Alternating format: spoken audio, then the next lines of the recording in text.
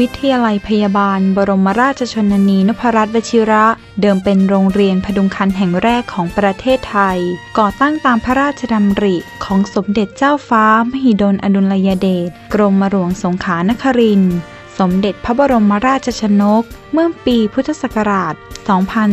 2474วันที่ 18 เมษายน พุทธศักราช 2537 วิทยาลัยได้รับพระราชทานนามว่า วิทยาลัยพยาบาล บรมราชชนนี วชิระ และมีพระบรมราชานุญาตให้ใช้พระนามาพิไทยสวเป็นตราประจำวิทยาลัย ขณะนั้นยังคงอยู่ในพื้นที่เดียวกับวิทยาลัยพยาบาลเกื้อการุณ และมีพื้นที่ที่จำกัดทำให้ไม่สามารถพัฒนาสิ่งแวดล้อมทางกายภาพได้ ต่อมาในปีพุทธศักราช 2538 ผู้อำนวยการวิทยาลัยอาจารย์เพนพันรักษณะ ได้ประสานงานกับนายแพทย์เสกสมสุวรรณกร ผู้อำนวยการโรงพยาบาลนพรัตนราชธานี โดยการสนับสนุนจากนายแพทย์ยุทธโพธารามิตร รองอธิบดีกรมการแพทย์ ร่วมกันดำเนินการย้ายวิทยาลัยมาอยู่ในภายในบริเวณของโรงพยาบาลนพรัตนราชธานี โดยมีข้อสัญญาว่าวิทยาลัยพยาบาลจะมาอยู่รวมกับโรงพยาบาลนพรัตนราชธานี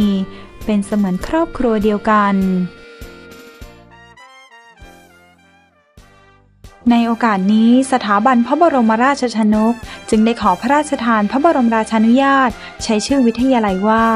วิทยาลัยพยาบาล บรมราชชนนีนพรัตน์วชิระ พระบาทสมเด็จพระเจ้าอยู่หัว ทรงมีพระมหากรุณาธิคุณ พระราชทานพระบรมราชานุญาต เมื่อวันที่ 5 มิถุนายน พุทธศักราช 2539 ซึ่งนับว่าเป็นวันแห่งการสถาปนาวิทยาลัยแห่งนี้สืบต่อมา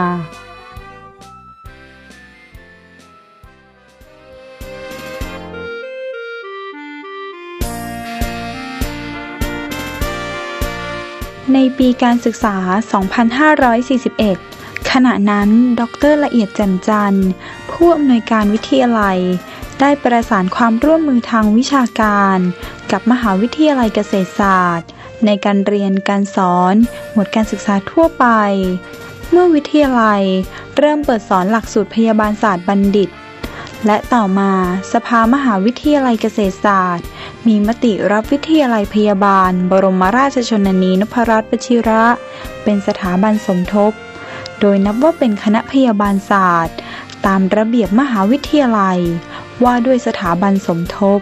เมื่อวันที่ 19 กุมภาพันธ์ พุทธศักราช 2544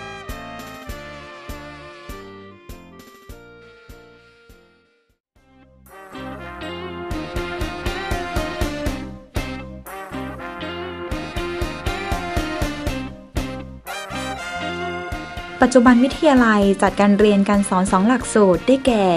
หลักสูตรพยาบาลศาสตร์บัณฑิต และหลักสูตรพยาบาลศาสตร์มหาบัณฑิต สาขาการพยาบาลอนามัยครอบครัวและชุมชน ซึ่งเป็นหลักสูตรนานาชาติ โดยบัณฑิตที่สำเร็จการศึกษาจากวิทยาลัย จะได้รับพระราชทานปริญญาบัตรจากสมเด็จพระเจ้าลูกเธอ เจ้าฟ้าจุฬาภรณ์วลัยลักษณ์อัครราชกุมารี ณ มหาวิทยาลัยเกษตรศาสตร์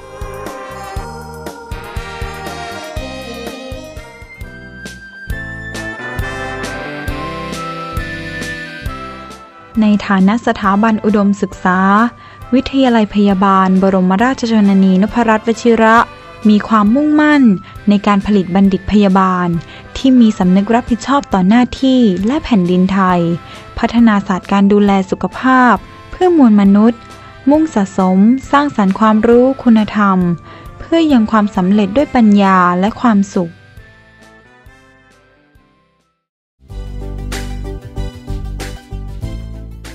วิทยาลัยพยาบาล บรมราชชนนีนพรัตน์วชิระ เป็นองค์กรชั้นนำที่มีความเป็นเลิศด้านวิชาการ ในการจัดการศึกษาพยาบาล และพัฒนาบุคลากรด้านสุขภาพ ที่ให้บริการด้วยหัวใจความเป็นมนุษย์ ตอบสนองความต้องการของชุมชน บนความเข้าใจ พหุวัฒนธรรม เพื่อมุ่งสู่อาเซียน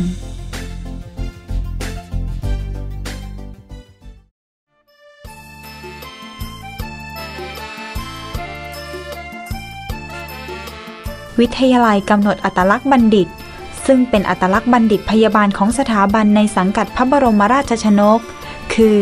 บริการสุขภาพด้วยหัวใจความเป็นมนุษย์ หมายถึง การให้บริการที่เป็นมิตร มีความรัก ความเมตตา ใส่ใจในปัญหา และความทุกข์ของผู้รับบริการตามปัญหา และความต้องการของผู้รับบริการที่เป็นจริง โดยใช้อักษรย่อคือ S A P S คือ Service Mind หมายถึง การดูแลผู้อื่นด้วยจิตใจความเป็นมนุษย์ โดยไม่หวังผลตอบแทน A คือ Analytical Thinking หมายถึง การคิดวิเคราะห์ การคิดแยกแยะความจริงออกจากความคิดเห็นได้ บอกเหตุผลและสาเหตุของสิ่งที่เกิดขึ้นจากหลักฐานเชิงประจักษ์ได้ P คือ Participation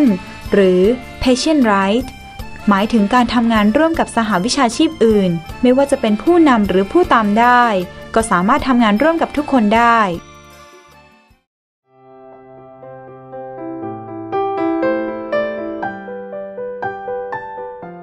วิทยาลัยพยาบาล บรมราชชนนีนพรัตน์วชิระ มีดอกไม้ประจำสถาบันคือดอกราชพฤกษ์ซึ่งต้นราชพฤกษ์นั้นเป็นไม้ยืนต้น ที่มีความอดทนต่อสภาพแวดล้อม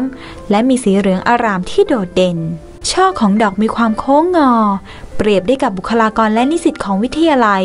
ที่มีความอ่อนน้อม แจ่มใสใฝ่รู้ ทั้งทางด้านความรู้ความสามารถ พร้อมด้วยคุณธรรมจริยธรรม แห่งวิชาชีพการพยาบาล จึงยึดสีเหลืองของดอกราชพฤกษ์เป็นสีประจำวิทยาลัย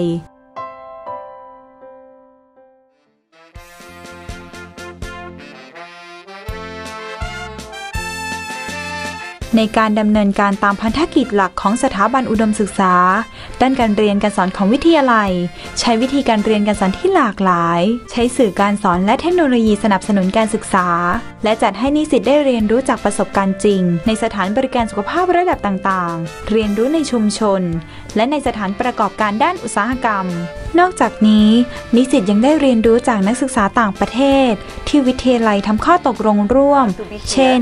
นักศึกษาจากประเทศอินโดนีเซีย ไต้หวัน และฟินแลนด์ รวมทั้งนิสิตในหลักสูตรพยาบาลศาสตร์มหาบัณฑิต ทั้งนี้เพื่อการผลิตบัณฑิตที่มีความรู้ ความสามารถ และสมรรถนะที่สอดคล้องกับความต้องการของสังคม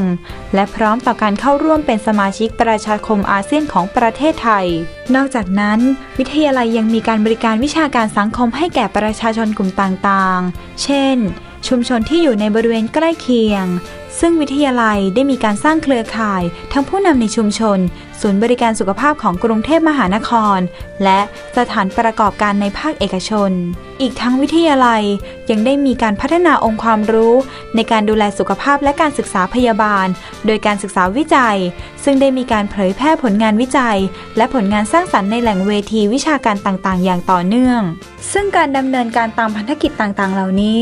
วิทยาลัยได้มีการพัฒนาปัจจัยนำเข้าที่สำคัญคือ การพัฒนาบุคลากรในองค์กรให้มีศักยภาพในการเรียนรู้ มีความพร้อมต่อการเปลี่ยนแปลงของสังคมในปัจจุบัน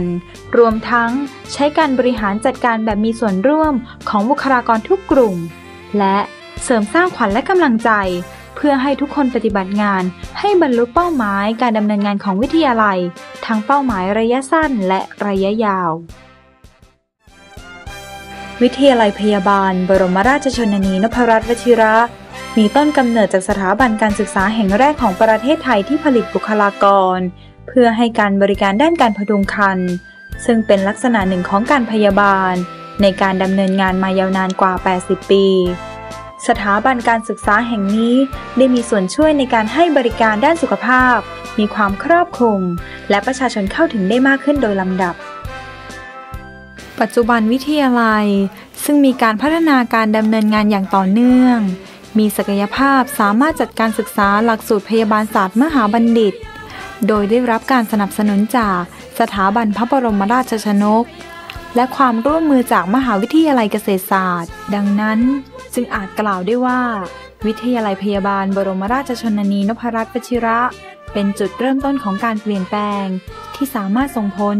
ให้เกิดการพัฒนาสถาบันการศึกษาทางการพยาบาล ที่ยังประโยชน์ให้กับสังคม ทั้งในระดับชาติและนานาชาติ ภายใต้ชื่อสถาบันการศึกษา สังกัดกระทรวงสาธารณสุขของประเทศไทย